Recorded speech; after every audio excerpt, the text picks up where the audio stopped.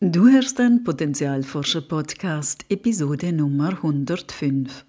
Wer alles richtig macht, wird nicht glücklich, sondern depressiv. Ein großes Thema in meiner Praxis. Aber stimmt das auch? Herzlich willkommen beim Potenzialforscher Podcast, ein Raum, um gemeinsam unser Menschsein zu erforschen. Von und mit Christina Jacker. Hallo liebe Potenzialforschende. Ich bin ganz beseelt vom schönen Start des Präsenzkurses Gemeinsam für ein starkes Nervensystem. Dieses Eintauchen in die Funktionsweise unseres Nervensystems und das daraus wachsende Verständnis für unser Menschsein, für uns selbst und andere ist so wertvoll. Ich glaube, wir alle könnten so viel menschlicher, verständnisvoller und achtsamer miteinander umgehen, wenn dieses Wissen und die gelebte, verkörperte Erfahrung dieses Wissens für mehr Menschen zugänglich wäre. Schön, dass du ein Teil davon bist, dieses Wissen in die Welt zu tragen. Wenn es dich interessiert, das Thema zu vertiefen, dann ist vielleicht der Online-Kurs, der im Februar 2025 startet, eine gute Möglichkeit für dich. Du kannst dich für weitere Infos gerne unverbindlich und kostenlos auf der Warteliste eintragen.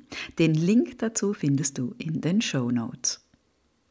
In dieser Folge möchte ich ein großes Thema aufgreifen, das wir im Podcast schon ein paar Mal aus verschiedenen Blickwinkeln angesehen haben. Es geht ums Richtigsein als Mensch. Auch wenn das kein neues Thema ist, gibt es dazu so vieles zu sagen, zu ergänzen, zu beleuchten. Es ist eine Art Dauerbrenner in meiner Praxis. Es zeigt sich immer wieder, auch bei Menschen, die schon so viel für sich erarbeitet haben, dass wir von dieser Urwunde nicht ganz so einfach heilen. Es ist diese Urwunde, dass wir so wie wir sind nicht angenommen oder willkommen geheißen wurden, so wie wir sind nicht in Ordnung sind.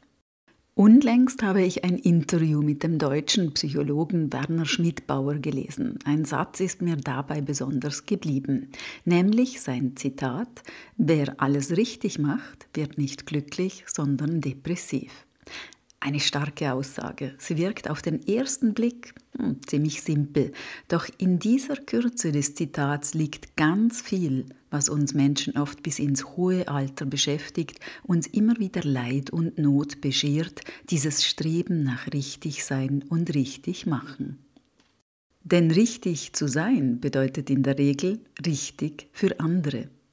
Wir verbiegen uns also, um anderen zu gefallen, um ein Teil der Gruppe zu sein, um nicht aufzufallen, um anerkannt zu werden und nicht zuletzt um gemocht und geliebt zu werden. Wenn das Richtigmachen eine kleine Anpassungsleistung ist, wie ja, bei der wir dennoch im Großen und Ganzen uns selbst sein können, ist es durchaus gesund, wenn wir uns auch anpassen können. Wenn richtig sein für andere aber bedeutet, dass wir uns selbst nicht lebendig ausdrücken dürfen, dass wir viele Teile von uns nicht zeigen und wegsperren müssen, dass andere Bedürfnisse konstant wichtiger sind als unsere eigenen, hm, dann bezahlen wir einen unglaublich hohen Preis. Wir zahlen den Preis, dass wir uns von unserem ureigensten Wesenskern trennen müssen, um von anderen gemocht zu werden. Wir müssen uns im weitesten Sinne selbst verraten, um von anderen akzeptiert zu werden oder dazuzugehören. Wir müssen unser Selbst wegsperren.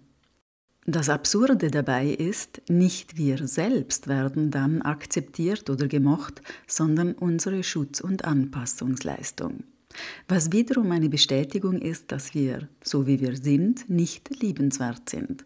Und so strengen wir uns an, noch richtiger zu sein, als wir es sonst schon sind, und entfernen uns noch mehr von uns selbst. Die Folge davon? Wir verlieren uns selbst, den Zugang zu uns, zu unseren Bedürfnissen und nicht zuletzt die Möglichkeit, Freude zu fühlen. Wir können niemals glücklich sein, unser Potenzial leben, uns lebendig fühlen, das Leben in seiner Fülle aufsaugen, wenn ein Teil in uns damit beschäftigt ist, Sicherheit zu erzeugen durch das Muster richtig machen und richtig sein. Und damit sind wir bei der guten Absicht dieses Musters, dieser Überlebensstrategie. Als Kinder, wenn in der Regel dieses Muster entsteht, hatten wir weniger Möglichkeiten, unser Überleben zu sichern. Wir sind abhängig von den Erwachsenen und wenn Anpassen und alles richtig machen uns das Wohlwollen und die Zuwendung unserer Eltern oder Bezugspersonen gesichert hat, war das eine intelligente Schutzstrategie. Nicht das, was wir als Kinder wirklich gebraucht hätten, aber eine intelligente Möglichkeit, unter vielleicht widrigen Umständen zu überleben. Je älter wir werden, desto mehr Schmerz erzeugt diese Schutzstrategie, denn sie braucht nicht nur Energie und Kraft, wir bezahlen eben auch diesen Preis, von dem ich vorhin gesprochen habe.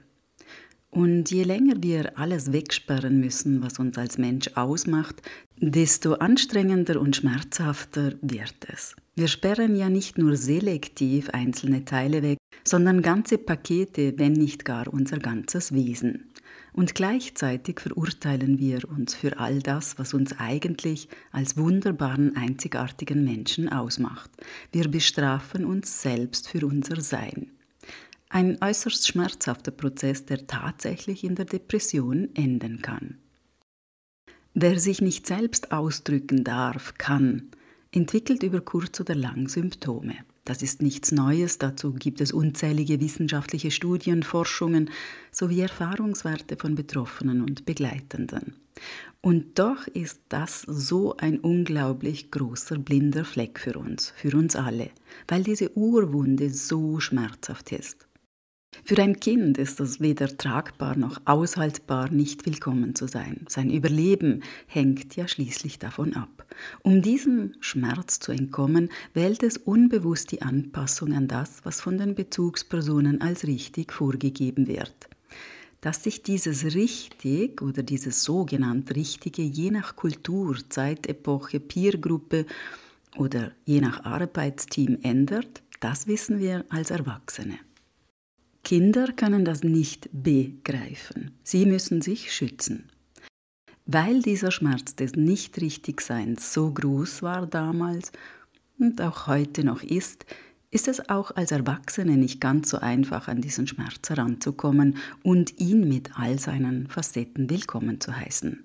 Ein Rat wie sei doch einfach dich selbst oder authentisch, das ist gut gemeint, erreicht diese Überlebensstrategie leider nicht.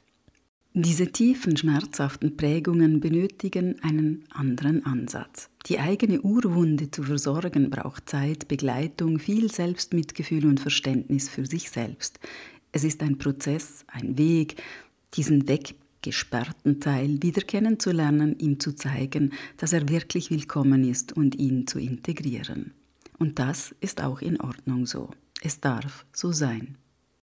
Ich hoffe, du konntest von dieser Folge einiges mitnehmen. Falls ja, hast du vielleicht Lust, den Podcast weiter zu empfehlen oder den monatlich erscheinenden Potenzial Letter zu abonnieren. Ich würde mich sehr freuen.